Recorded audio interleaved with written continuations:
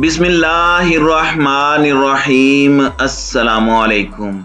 नाजरीन कराम नई वीडियो में आपको खुश आमदीद कहते हैं, यूक्रेन और रशिया के हवाले से नई एडवांसमेंट के साथ हाजिर हैं।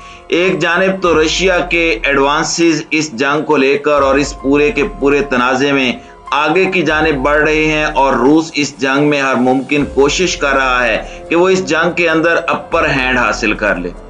और ये इस वक्त नज़र भी आ रहा है कि इस पूरी की पूरी जंग से अब दुनिया की अपने आप को सुपर पावर कहलाने वाली ताकतें काँप उठी हैं और वो ऑप्शंस जो कि रशिया एक्सरसाइज कर सकता है, उन ऑप्शंस को सोच सोच कर आलमी ताकतों की टांगें काँप रही हैं। या फिर जैसे आजकल पाकिस्तान के अंदर एक नई टर्म मौजूद है और काफ़ी मकबूल है तो अमेरिका नेटो और जर्मनी के हवाले से कुछ बड़ी अपडेट्स हैं कि किस तरह से इनकी कांपें टांग रही हैं। लेकिन इस पूरी की पूरी सूरत हाल के अंदर कीव की तरफ़ रूस का एक बहुत बड़ा काफिला जो जा रहा था, जो कि 40 मील पर मुहित था, ये दारुल हुकूमत कीव से 10 किलोमीटर दूर था, शुरू में 50 किलोमीटर दूर था। रूस उसे आहिस्ता आहिस्ता आगे की तरफ़ ले जाता रहा और चार से पाँच दिन तो इस काफिले को वहीं रोका गया। लेकिन अब इस पूरी सूरत हाल के अंदर इस काफिले के हवाले से जो नई सेटेलाइट इमेजेस सामने आई हैं उन्होंने ये चीज़ वाजे कर दी है कि हो सकता है ये तनाज़ा ये जंग रूस की जानब से चंद दिनों की मेहमान हो और इसमें रशिया पूरे यूक्रेन पर और बिलखसूस दारकूमत के ऊपर अपने झंडे लहरा दे। जबकि यूक्रेन के ऊपर 800 से जायद मिसाइल दागे जाने के हवाले से भी हमारे पास कुछ अपडेट्स हैं। जबकि अभी तक की तमाम ता, ताज़ा तरीन जो खबरें हैं वो हम आपके सामने रखने जा रहे हैं ताकि आप मुकम्मल अहवाल से आगाह हो सकें। तमाम वीडियो की तफसील में जाने से पहले चैनल पर नए आने वाले दोस्तों से गुजारिश है कि हमारे चैनल को सब्सक्राइब कर लें बेल आइकन पर क्लिक कर लें ऑल नोटिफिकेशंस को ऑन कर लें ताकि हमारी नई आने वाली वीडियोस आपको बर वक्त मिल सकें। नाजरीन कराम सबसे पहले तो मैं आपको बता दूँ कि इस वक्त रूस की इस जंग के अंदर एक मुल्क जो मुकम्मल तौर पर उसका इलाई है, वो मुल्क है बेलारूस। कल बेलारूस के ऊपर एक अटैक हुआ। बेलारूस की टेरिटरी के अंदर यूक्रेन से हमला हुआ है। उसके फौरी बाद अब बेलारूस के पास ये जवाब है कि वो अपने दोस्त रशिया के लिए इस जंग में अपने ट्रूप्स भी उतार दे। पहले तो सिर्फ़ ज़मीन इस्तेमाल हो रही थी। लेकिन यूक्रेन ने इस पर यू टर्न लिया और यूक्रेन ने यह दावा किया है कि ये तो रशिया ने खुद अपने इतिहादी पर हमला किया है और ये एक फॉल्स फ्लैग ऑपरेशन है। बेलारूस को जवाब फ्राहम करने के लिए कि वो भी इस जंग के अंदर कूद पड़े, जबकि इस पूरी की पूरी सूरत हाल में बेलारूस के हवाले से यूक्रेन ने यह भी ऐलान किया है कि रशिया से तो हम लड़ ही रहे हैं, लेकिन अगर बेलारूस ने मुदाखलत की तो हम उनसे भी भरपूर जंग लड़ेंगे। उनका एक फौजी भी आगे बढ़ा तो हम इन पर जंग मुसलत कर देंगे।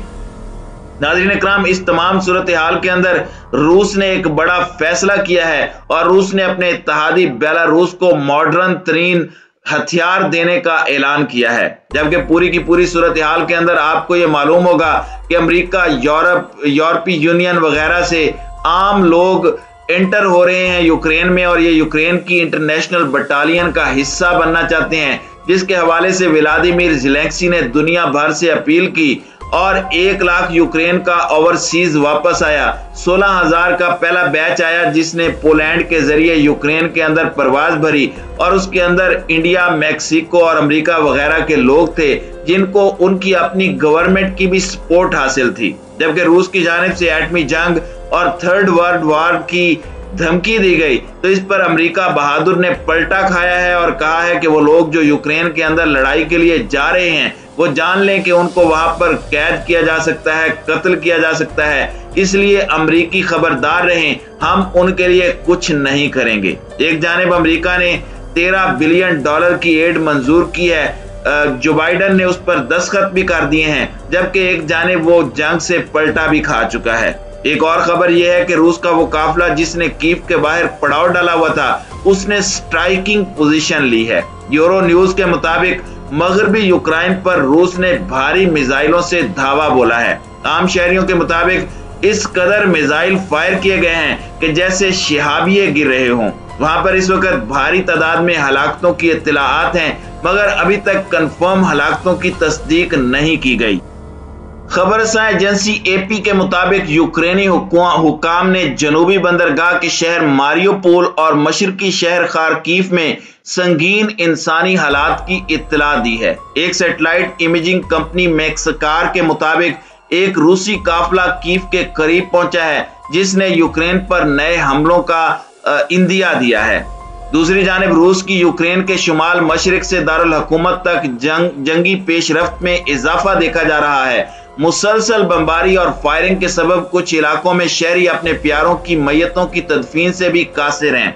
रूस की जानब से शाम और चैचनिया में की गई माजी की कार्रवाइयों में भी यही हिकमत अमली अपनाई गई थी कि मुसल्ह मुजाहमत को मुसलसल फिजाई हमलों और गोलाबारी से कुचल दिया जाए। इस किस्म के हमलों ने शुमाली साहली शहर मारियोपोल का रबता मुल्क से मुनकत कर दिया है और अगर जंग जारी रही तो कीव और यूक्रेन के दीगर हिस्सों का भी यही अंजाम हो सकता है। इसके अलावा यूक्रेनी हुकाम ने रूसी फोर्सेस पर इल्ज़ाम आयद किया है कि उन्होंने यूक्रेन के जनूबी शहर मिलियोपोल के मेयर को अगवा कर लिया है। ये शहर अब रूसी फौज के कब्जे में है। यूक्रेनी वजारत दाखिला के मुशीर का कहना है कि मिल्तियोपोल के क्राइसिस मरकज में दस सिपाही दाखिल हुए, जिन्होंने मेयर को अगवा करके नामालूम मकाम पर मुंतकिल कर दिया है। एक वीडियो पैगाम में यूक्रेनी सदर व्लादिमिर जिलेक्सी ने अगवा की मजम्मत करते हुए उन्हें एक बहादुर मेयर करार दिया, जो साबित कदमी से यूक्रेन का दिफा कर रहे हैं। दूसरी जानब,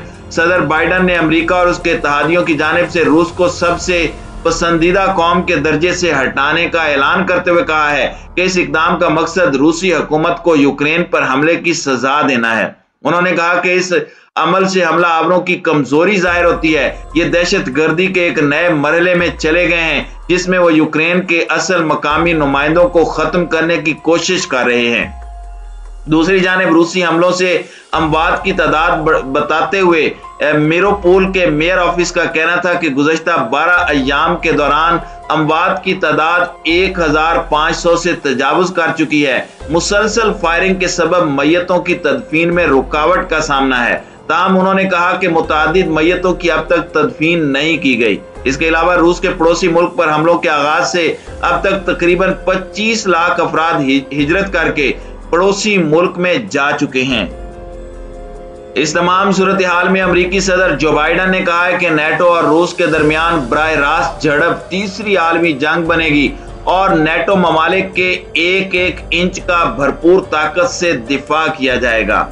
सात ममालिक यानी Canada, America France Italy Japan बरतानिया के ग्रुप जी सेवन ने अहम मसनुआत के लिए रूस को हासिल सबसे ज़्यादा पसंदीदा मुल्क का दर्जा भी खत्म करने पर इतफाक किया है। जो बाइडन ने कहा कि नेटो और रूस के दरमियान बर रास्त झड़प तीसरी जंग अजीम के मुतरद होगी, जिसे हमें हर सूरत रोकने की कोशिश करनी चाहिए। ताहम जो बाइडन ने कहा कि उन्होंने बारह हज़ार फौजियों को रूस से मुंसलिक सरहदों पर भेज दिया है। उन्होंने यूक्रेन में तीसरी आलमी जंग न लड़ने पर ज़ोर दिया, लेकिन एक वाज पैगाम भेजने का आज़म किया कि हम नेटो के इलाके के हर इंच का दिफा करेंगे। उनका कहना था कि हम यूक्रेन में रूस के खिलाफ नहीं लड़ेंगे, लेकिन नेटो और रूस के दरमियान बर रास्त तसादम से तीसरी आलमी जंग होगी और हमें इससे बचना चाहिए।